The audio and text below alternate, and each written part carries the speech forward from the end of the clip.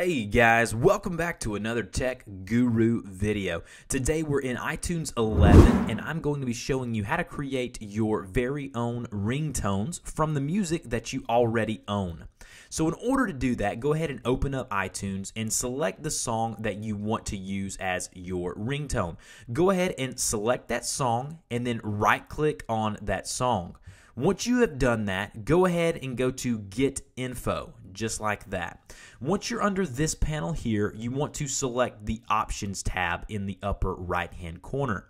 Once you're there, you'll see the start and stop time options here, and you want to keep the ringtone under 30 seconds. Anything over 30 to 32 seconds does not get recognized as a ringtone.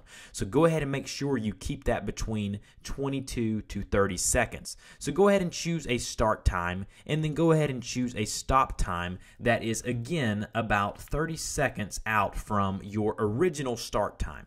Once you have done that, go ahead and click OK.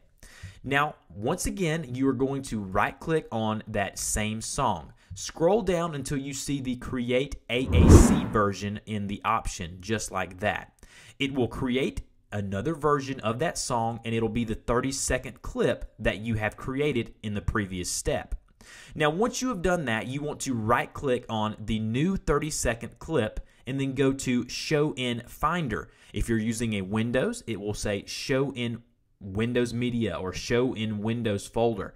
Either way, you want to find that file within your computer. So I'm going to go ahead and click on Show in Finder. Once I have done that, I then want to drag that specific file. It should say .m4a onto my desktop, just like so.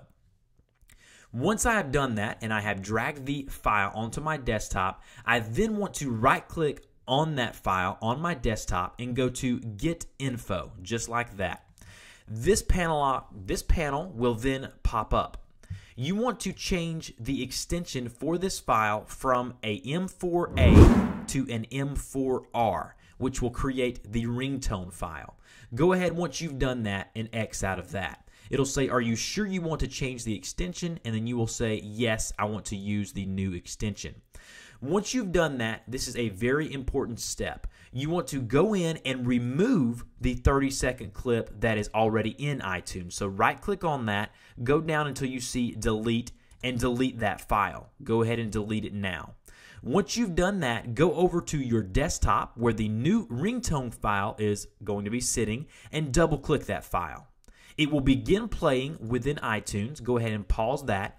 And now, if you go over to your sidebar under tones, you will see now that new ringtone has been created.